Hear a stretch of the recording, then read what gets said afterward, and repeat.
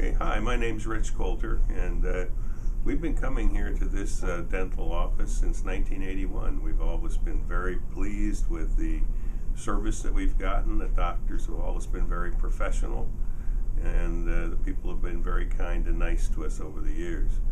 Uh, we expect to continue coming for a long time and would highly recommend Dr. Darvish and his staff to anyone that might be considering uh, a dentist in the area.